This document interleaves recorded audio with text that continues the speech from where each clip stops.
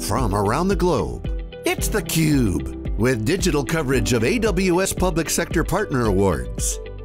Brought to you by Amazon Web Services.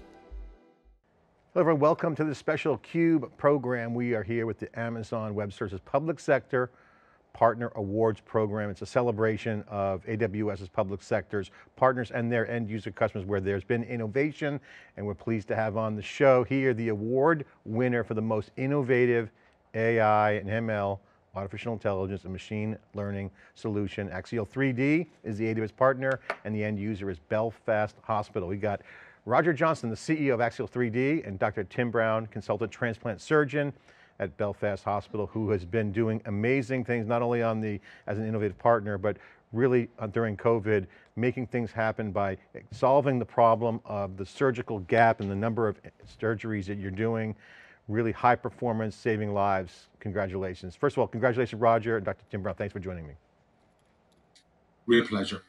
Okay, let's get into it. Um, first of all, Dr. Tim Brown, I really want to commend you on the amazing work that you're doing. Before we get into some of the partnership uh, awards conversations, you have been at the front line solving a lot of problems around the gap between the number of surgeries that could take place with COVID. Um, tell that story real quick. I really think it's super important. Take a minute to explain. Yeah. Yeah, thanks for the opportunity. Um, it's it's been an incredible roller coaster for the last three uh, months. Um, pretty much all of the transplant programs across the world who uh, have been affected by COVID have shut down, uh, but with some pretty innovative and um, real leadership and team working advances, we've um, we've managed to open our program up again. And in Belfast, we have about um, 50, 50 deceased donor transplants a year. Uh, over the last three months, we've we've just done 90, 90 kidney transplants, and pretty much um, we've we've cleared the whole waiting list in Northern Ireland, pretty much uh, for people waiting for a kidney transplant in this time. Um, it's been a remarkable few weeks, um, uh, but really is a testament to uh, the critical care community, the people that work in intensive care, as to how much they support organ donation, and of course uh, our, our, our donors who, who have given so selflessly at such a tragic time uh, for them. So I, would like to pay tribute to all of our donors and to the amazing amount of people who have been involved in the teamwork uh, in Belfast at this time. That's super amazing. Can you just, I just want to pause for a minute and just capture the number of order of magnitude. You said it was six to 10 for yeah. the year and you did nine zero, 90? Yeah, so six we've weeks? basically done we've done two uh, two years work in six weeks, uh, all in the middle of the night as well. So it's been it's been hard hard work. So um, you, you can see the sleeplessness. Uh, I'm trying to catch up at the minute, um, but uh, it's been really really satisfying and an incredible outcome for our patients. Uh, the legacy um, of this of this uh, program is going to last in Belfast for 40 years. Well, I want to say congratulations. I'll give you my CUBE award for not changing the world, but saving the world one person at a time. 90 interviews in six weeks, that's amazing. That's life changing, clearing the waiting list. You're really changing lives there, congratulations. That's very kind of you, thank you very much. Roger, what a great partner and customer you have here. Um, talk about this award you guys have. Talk about the company. What is this all about? Why are you guys in this position? Why are you winning? Yes, so I, I think our, our motivation for our company is driven by our, our, our partners, such such as Tim. What they're doing transforms care, and even in these horrific situations or scenarios we have at the moment with COVID, I think you're hearing uh, the start of an, an amazing story. Our job is to give surgeons like Tim the the best possible insight that he can have going into his surgeries for the last 20 years, surgeons have relied largely on 2D imaging, so CT and MRI scans, for, for being able to plan their surgeries, when in fact, modern technology should allow them much greater insight before they actually perform their surgery. So we've created a technology that platforms on AWS that allows us to turn those traditional, hard to understand 2D images into micromillimeter precise models of the patient's exact anatomy. The value, hopefully, to, to amazing uh, colleagues like Tim, is that instead of trying to interpret what a 2D image, CT or MRI scan might mean, he can actually see for the first time before he opens the patient up exactly what he's going to find when when he uh, when he starts the surgery. So he can actually start uh, planning and complete that planning before the surgery actually takes place. So hopefully that allows a number of benefits uh, to result, whether that be shorter operations time, less uh, surgical equipment needing to be brought into the surgery, hopefully faster uh, uh, surgeries means less risk of infection for patients, means shorter bed time, means better outcomes for the healthcare system and most importantly. Awesome. Dr. Brown, I want to get your take on this. Can you describe the impact on your side? Because you know, the future of work, which is everyone's been talking about in the tech industry for many years. Now with COVID, we were just talking about the successes you're having in changing lives and saving lives. The notion of work, workplace, work forces, work loads, work flows are all changing. Certainly the workplace, people aren't as on site as they used to be. Uh, the workforce has to be protected. How does the AI and how does the Axial 3D help you in your workflows? Are you getting more done? Can you, can you give specifics around the impact to your job? Yeah, it's, it's been a, it's been a fantastic journey to date. Um, and we're still learning our way. Uh, it's a journey and we're, we're trying to work out exactly where this lies and the fact that COVID has now come along, which has changed our working practices uh, means that we have to look for different um, solutions. Um, and this, I think, is a very handy solution. So, where it's come into my practice over the last three years uh, has been in terms of complex um, uh, renal surgery and um, on- oncological surgery, where um, we have, for example, um, a tumor in a kidney uh, where we think, my goodness, we're going to have to take this kidney out and throw it in the bin because uh, it's, it's very badly diseased. So um, the, the index case that we were involved with uh, was involving a, a, a, chap who wanted to donate his kidney to his daughter. But when we worked him up, we found a tumour in his kidney, which ordinarily would have to be uh, discarded. Um, but thanks to the imaging that um, was able to produce for us, we were able to plan well, choose well, cut well, and uh, as a result, we took the kidney out. We were able to plan uh, a, a, removal of the tumor from the kidney itself. We were able to repair the kidney and then transplant it into his daughter. So, with the um, technology that was available, we were able to save two lives uh, in one particular case. And um, it's, it's really grown from there. Um, we've now been involved in five or six different real complex cases where um, the imaging has changed the outcomes for, for our patients who ordinarily wouldn't have been able to uh, achieve those outcomes. I think um, the AI interface and the AI solution that we've we've we've uh, developed in our partnership with Axial, um, as I say, it's a journey and we're still finding our way. But the, the two insights that I've really got are the first is that um, what we want to do is reduce uh, variability um, not just in our um, in our observers from the way that we interpret imaging. Uh, traditionally, as Roger said, we look at 2D images. We're now able to sit and look at this uh, imaging uh, in a three-dimensional space at our desk, uh, rather than trying to reconstruct these things in our head. Um, we can now look at them and uh, discuss the different images with our colleagues in real time.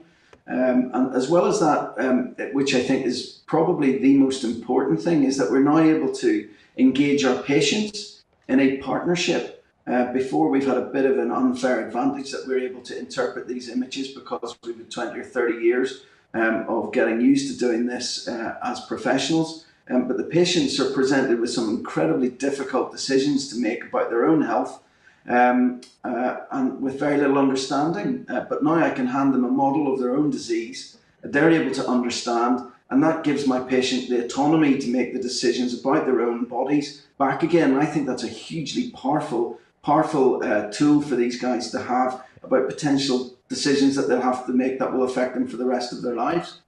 So the problems you were solving was one, a technical problem. So you were trying to figure out manually, you get more insight into the, the imaging. And two, yes. the customer or the patient, in this case, customer, the patient, can make a yeah. better decision. Those are two problem statements that seem to be the big ones. Did I miss anything? Oh, absolutely. No, you got it in one. Yeah, absolutely. Okay, so Axial 3D, you guys have a great solution. How did you get here? Um, tell us about your story. What's, what's, what's the big uh, trajectory for you guys in terms of this value proposition? This seems to be amazing. And again, highlights the advantages of how technology really solves a problem, but the outcome on the patient side is pretty phenomenal.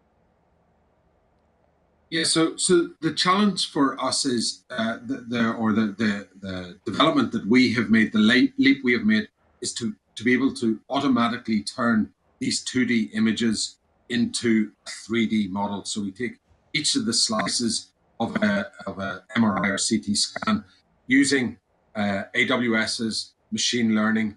We construct a 3D micromillimeter precise uh, representation of that anatomy. That's only possible. First of all, we train the algorithms that we created on the Amazon platform using over a million pre-labeled CT scans. So our system automatically detects at a pixel level what is bone, what is ligament, what is an artery or a blood vessel. And with the training that we're able to perform, we've been able to, with, with these million uh, images, we've been able to, in effect, train our system to automatically uh, detect the different parts of the anatomy to this uh, micro precise level. It hasn't been previously possible. Uh, this technology or, or, the ability to create 3D models has existed for maybe 10 or 15 years, but it's it's needed experts like Tim to, to in effect manually code this, the 2D image at a pixel level and codify it so some software can turn that into a 3D image. That typically took eight or 10 hours of an expert like Tim to do. And the problem is, Tim could only do one at a time. We estimate there are about 3 million of these complex surgeries each year in the world that need or could benefit from greatly from this uh, enhanced imaging. And we couldn't get three, 3 million man days of experts like Tim to do that. So we had to automate this process. Now on the AWS platform, we could do thousands of these models in parallel and each model will take maybe a few minutes to turn from the CT into the M, into the, the, the 3D representation. So through the power of the Amazon public cloud, we've been able to provide this, this powerful machine learning automated solution that can actually scale to the, the demand that we hope to see in the. Dr. Brown, talk about the impact because I mean, Andy Jassy, the CEO of AWS always talks about this when I interview him. He says, you know, we're here to help do the heavy lifting. This sounds like some pretty heavy lifting, uh, what was just talked about. I mean, the manual work involved. You have essentially have yeah. collective intelligence and supercomputer power with AWS. What's your take on this as this evolves? I mean, why isn't everyone doing this? Yeah, well, I don't know why everyone isn't doing it. Uh, that's that's that's the key question. It really is. Um, from my perspective, there is no heavy lifting at all. Um, what I do is I push a couple of buttons, I input a bit of data, and I send it off. And from my perspective, it is about as easy as it gets. It's probably as easy as sending an email, which we do hundreds of times a day. And so, from from from my perspective, I'm delighted to say that there is no heavy lifting at all.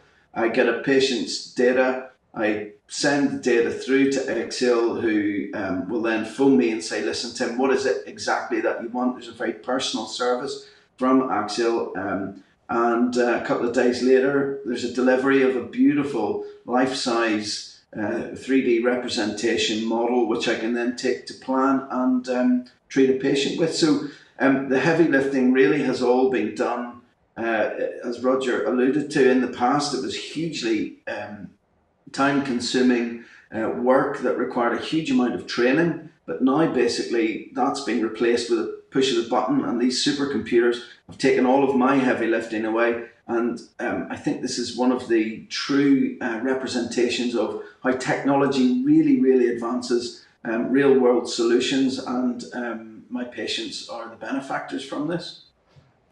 Roger, Dr. Brown, lay out the architecture because first of all, pretend I want to take this to every single friend that I have here in California and around the world.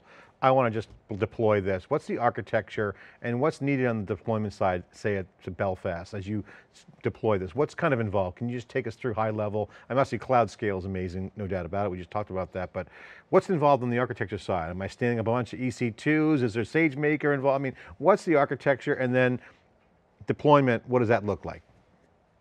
Sure. So, uh, taking a slight step back, one of the challenges when when we as the medtech community try and introduce innovation into healthcare, into hospitals, the, the hospital's IT uh, infrastructure network, by definition, is often pretty locked down. So if we're trying to bring new software and load it and install it into the, the hospital data system, that is a huge, often lengthy process that has to jump through lots of hoops in terms of IT, network, uh, uh, compliance, lots of different steps along the journey.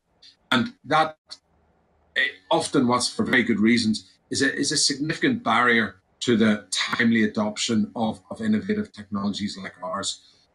What a what uh, platforming uh, Axial 3D on AWS allows, we're just another website. As, as Dr. Tim has said, his uh, only the, the his only existence with Axial 3D in terms of in, interface is dragging and dropping the CT scan into our website, into our portal. That portal exists totally on the uh, AWS uh, instance uh, in whatever region we, we are, are working. The data, for example, in the US never leaves the US. We use the, the, the uh, public cloud version uh, in, US East. we take advantage of many features within AWS, but SageMaker is, is probably at the core of what we do. It's that innovation that, that AWS introduced now several years ago that has allowed us to, to produce this this uh, machine learning trained uh, set of algorithms that allow us to give this disruption. And it sounds like the more you use it, the more it gets smarter. Is that as well? Absolutely. So our journey is, as Tim said, uh, we're on a journey not only in terms of the technology, and, and you're very per, uh, perceptive in terms of yes, the more we train it, the more we train it on specific uh, anatomy types, or pathology types or trauma types, the better our system gets at recognizing the specific characteristics of those. But more importantly, this is about the journey, how having made this disruption, yeah. we make the change and transformation of uh, new standards of care, of care pathways. That's the innovation that that we just enable. It's amazing surgical teams like Tim's that make that transformation. Dr. Brown, now on your side, you're sitting there, I, I, got a big problem trying to solve these problems. I got patients who want, but want better outcomes. They want to live. I don't want to throw away kidneys if I don't have to. You just solve that problem. Now, when, he, when they bring that over, what was it like over on your side of the house as a practitioner deploying it? You got a, you got two jobs going on. You're kind of doing IT integration on one hand, and you're a surgeon on the other, trying to make things happen. You know, what I see this is not a lot of IT here. What's the deployment look like? yeah, deployment to me is I don't know why everyone else isn't doing it. It's such a straightforward, easy situation. Um, it's it's remarkable, really. Um, it, it's such a good solution. Um, I think part of any sort of change management uh, program, and this again is change management. Um, it's challenging the way we think about things. It's challenging people's comfort zones, um, and anytime we need to change, we've got this anatomy of change. We've got innovators We've got early adopters, we've got late adopters, and I think what we're going to see over the next five to 10 years is people recognizing that this technology is a game changer, possibly being driven by their patients who say, I want a 3D model and I want to see what this actually looks like because uh, basically that black and white picture you're showing me doesn't make any sense to me. And I think there's going to be the two drivers is that the, the first is that we want to have uh, consistency of care uh, and a lack of variation in our care across across all all services.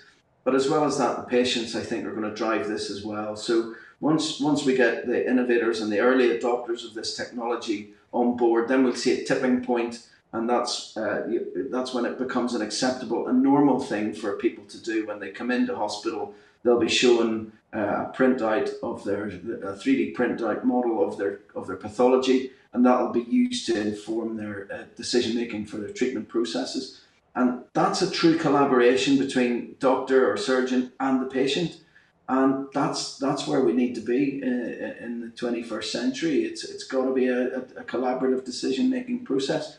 Uh, and you talked about um, patient journeys, and uh, and this this is a really integral part. This is the roadmap of your journey. Uh, to a large extent. So um, I think this, I can see this, this being rolled out worldwide, being driven by patients and by uh, correction and variability of healthcare provision. It's a great example and it's an innovative award winner for the most uh, innovative use of artificial intelligence and machine learning, 3D images, saving lives. Congratulations, Tim, Roger, it's phenomenal. Final question as we end this out. Um, what's the scar tissue, pun intended? What, you know, what did you learn? Uh, what are some of the things that you could share with folks as people look at this and say, this is an example of cloud scale and, and technology for good. What lessons have you learned? What can you share for folks? Take a minute to explain each. Roger, we'll start with you. Yeah, sure. So I, I think a, a, number of, of lessons for us on this journey, as, as Tim says, this is a, uh, we're at the start of a journey of understanding the power of, of the, the what 3D imaging can bring uh, just to uh, providing a consistent uh, or less variable uh, care, but also as, as, as Tim also alluded to, in terms of, of the patient understanding. I think that patient understanding is one of the huge leap forwards that we, we, we didn't set out initially thinking we're going to be able to help educate and better inform patients. But that was one of the derived benefits that suddenly became apparent. So that was a great lesson. I think the incredible levels of adoption that we're starting to see across the US, across Europe, because it's so easy to adopt compared to traditional IT methods, surgeons just register for our website and they can start transacting and, and, and getting service from us as opposed to having to have these huge IT programs. So I think we're now starting to really scratch the surface and start seeing the benefits of this isn't an administrative system, it's not an EHR system, it's not a finance system where maybe uh, healthcare was comfortable in, in using public cloud.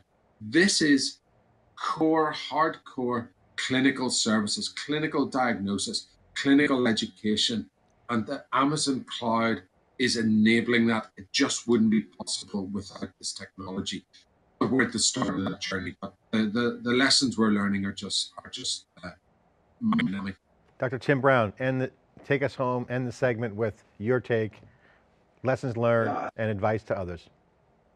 I think uh, the lessons learned are um, that uh, doctors and healthcare providers are all extremely wary of change, of new innovations, because they feel that already they're overburdened. Uh, probably my colleagues in the States and across Europe are feel like me, we're a bit overburdened by all the things that we have to do. Um, and this may potentially have been a more difficult or adds to your workload. In actual fact, this makes your workload a lot easier. And convincing people and getting people to understand that this really does make your life a lot easier. It actually removes all the scar tissue. It removes the difficulties that have been put in place by um, uh, by organisations. Uh, and once people realise that, that's what that there is no heavy lifting, and this will make a huge difference to your practice and to your patients' understanding of your practice. And once that once that people really realise that, then the tipping point will be achieved. And I'm looking forward to that day because this this is going to be the new normal in the next five to ten years. Well, the performance that you're putting up, the numbers of 90 transplants successfully over six weeks, dwarfs the full year last year, really kind of shows the outcome as a game changer. And again, congratulations on your success. Roger, thank, thank you for coming on. Congratulations on being the award winner, AWS partner for the most innovative AI and machine learning solutions. Thanks for taking the time for part of this AWS Partner Awards program. Thank you. Thank you. Okay, I'm John Furrier. We're covering the AWS Public Sector Partner Awards program put on by theCUBE and AWS Public Sector Partners. Thanks for watching.